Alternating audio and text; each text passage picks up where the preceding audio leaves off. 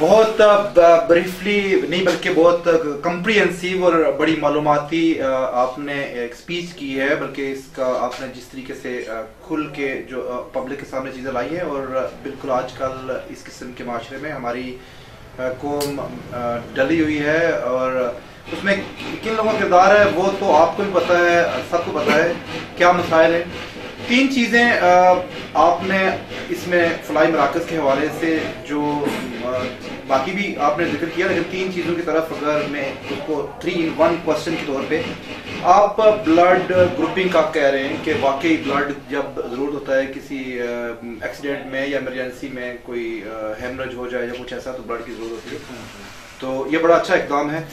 تو blood grouping میں blood grouping تو آپ کرواتے ہیں، لیکن اس چیز کو کس طریقے سے آپ خیال رکھتے ہیں؟ کیونکہ آج کل بلڈ کنٹیمنیٹڈ ڈیزیز بہت ہیں۔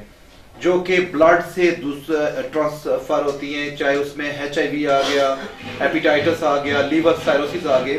آپ اس چیز کو نوٹ کیجیے گا۔ دوسرا یہ ہے کہ آپ uh, منشیات کے حوالے سے یہ کہہ رہے ہیں کہ آپ واک کروائیں گے۔ تو اگر ایڈیشنلی اس میں آپ کی ماشاءاللہ ایف آئی ایف میں بے شمار ڈاکٹر بھی ہیں جو کہ میڈیکل اسپیشلسٹ ہیں، اگر ان کو شامل کیا جائے اور وہ بھی آپ کی ٹیم میں شامل ہو کے لوگوں کو بتائیں کہ لنگز سانس لینے میں کتنا امپورٹنٹ ہیں؟ تو کیا کہتے ہیں اس کے بارے میں؟ یہ بالکل آپ کے بہت شاندار مشورے ہیں۔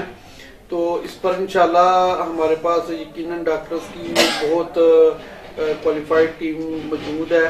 تو ہم نے ویسے جو پریزنٹیشن بنائی ہے، اس کے اندر یہ جو منشیات کے روک تھام کے حوالے سے ہے، اس کے اندر ہم نے اس کو، اس کے حوالے سے رکھا ہے کہ اس کے نقصانات کیا ہیں۔ یہ کس طریقے سے صحت کو ڈیمیج کرتی ہے؟ ویلتھ اور ہیلتھ کو کیسے ویلتھ اور ہیلتھ کو کیسے ڈیمیج کرتی ہے؟ اور کتنا بڑا ڈیٹا ہے جو نا اور پھر کسی بھی نوجوان کا مستقبل کیسے تباہ ہو جاتا ہے؟ اور وہ مستقبل وہ نوجوان قوم کا بھی سرمایہ ہے اپنے گھر کا بھی خاندان کا سرمایہ ہے۔ تو ہم نے اس کو سائنٹیفکلی میڈیکلی اس کے اندر اس پریزنٹیشن کے اندر یہ ساری چیزیں رکھی ہیں۔ تو وہ انشاءاللہ اگر آپ کو ہم کسی وقت دکھائیں گے آپ دیکھیں گے تو واقعہ بندہ اس کو دیکھ کے جو نا وہ ایک دفعہ ڈر جاتا ہے کہ یار یہ میں ایک دفعہ سوچوں۔ اور بلڈ سکریننگ کے بارے میں؟ بلڈ سکریننگ کے حوالے سے دیکھیں ہم ہم جو کام کر رہے ہیں وہ ہے کہ ہم ابھی تو پہلے مرحلے میں بلڈ گروپنگ کرتے ہیں۔ کہ لوگوں کو یہی ابتدائی معلومات ہی نہیں ہے کہ میرا بلڈ گروپ کون سا ہے۔ یہاں تک کہ مریض، جو مریض خود ہوتا ہے، عام طور پہ مریض کے گھر کے اندر ہی وہ گروپ موجود ہوتا ہے۔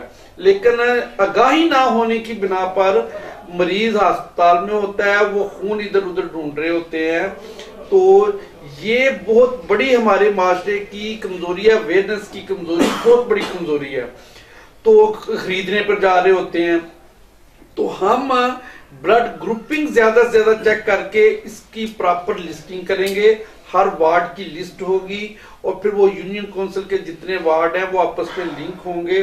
تو جب کسی کو ہوگا کہ جی یہ خون چاہیے تو ہم اس لسٹ سے دیکھ کر اس ڈونر کو ہم ہاسپٹل وہ جائے گا جہاں پر پراپر اس کا ٹیسٹ ہوگا اور اس ٹیسٹ کے بعد ہی وہ بلڈ جو بہت اچھا بہت اچھا جواب دیا آپ نے کیونکہ جب بلڈ گروپنگ ہوگی جب پیشنٹ کے گروپ کا پتہ ہوگا امیڈیٹلی اگر گروپ پتہ ہے تبھی اس کے خون کے لیے ارینج کیا جا سکے گا۔